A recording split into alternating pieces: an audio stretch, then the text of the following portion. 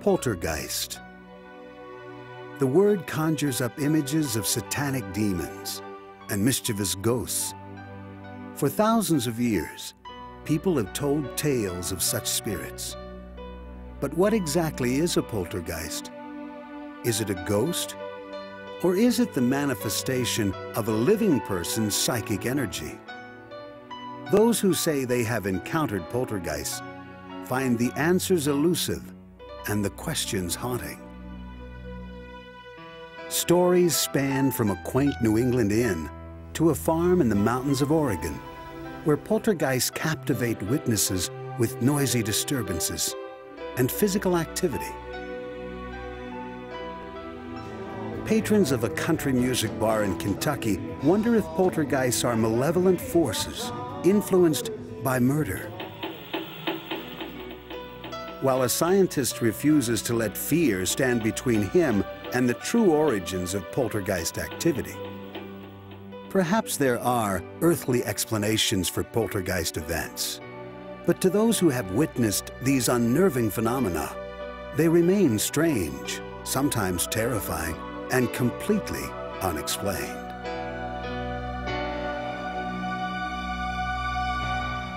John Stone's Inn lies in the countryside village of Ashland, Massachusetts, 30 miles southwest of Boston.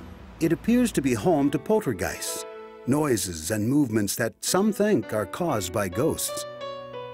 It was here in March of 1976 that Robin Hicks' view of the world changed forever. The inn's attic used to contain apartments, where Robin spent nights with his wife.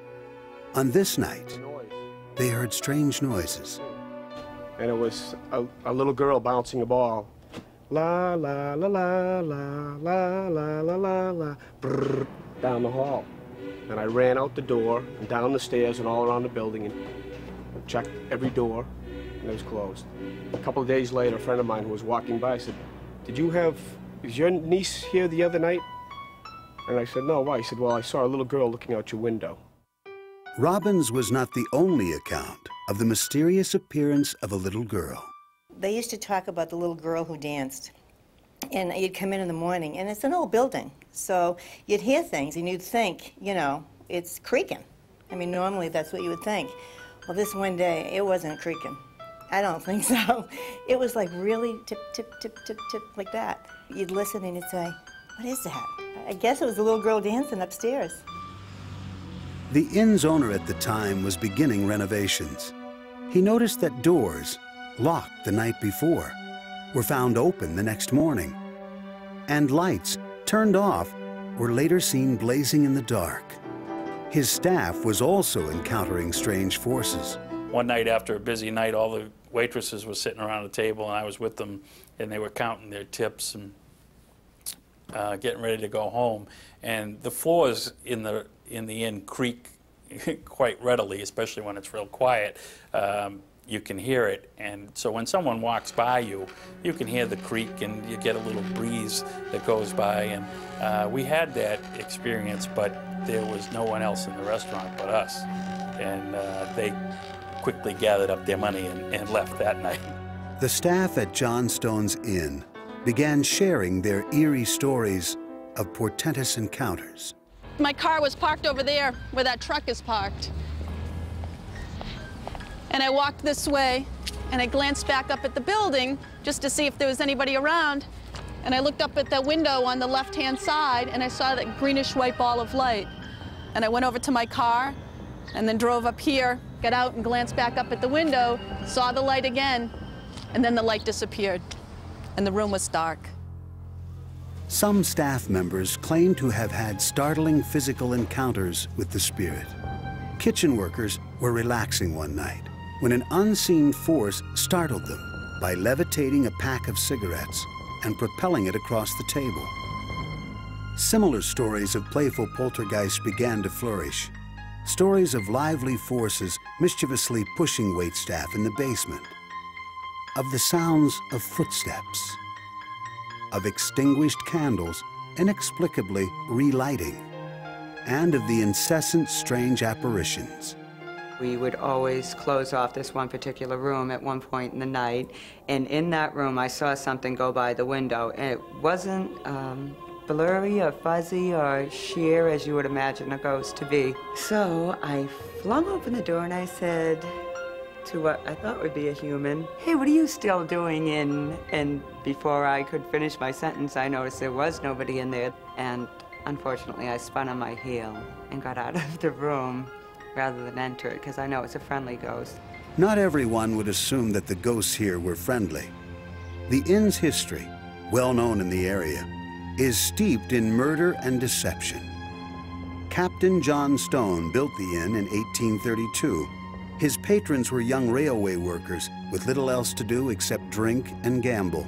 This often led to violence, and legend has it that Stone himself killed the traveling salesman during a card game and buried his body in the basement. Stone and the salesman are said to be two of the spirits who have haunted the inn ever since. The inn has seen its share of tragedies, including the deaths of two people who were killed on the nearby railroad tracks. One, a former manager, and the other, a little girl, both of whom are said to be haunting the inn. You know, instead of just calling them ghosts, I kind of, I feel like I understand them a little bit more. And I also understand that they're very dangerous. We used to take them very lightly because we didn't understand what they were before. And we had a lot of fun with them. But now I think of them in a more serious nature and that uh, they're, they really shouldn't be fooled with. They're very powerful and very dangerous things. Spiritualist Raphael Bibbo, intimately familiar with the inn's history and structure, feels that the sheer number of reports of poltergeists at the inn are enough evidence to conclude that paranormal activity is present. And with so many people who have had these uh, experiences, one cannot say that 75% of the public is paranoid or has some got some problems with them because uh, there are a lot of credible people who have experienced, felt, seen, touched, and so you have to go on that basis that something must exist, something has to exist. Unlike the apparitions associated with hauntings, poltergeists are phenomena involving real-life physical activity. Is the building itself a source of these activities? The inn, uh, the thing that first caught me right off was that it's only about a 50 or 100 feet away from the, from the railroad tracks, and that's going to cause some pretty serious shaking of that building. Could the force of a passing train last long after the train has left, resulting in residual vibrations in the building?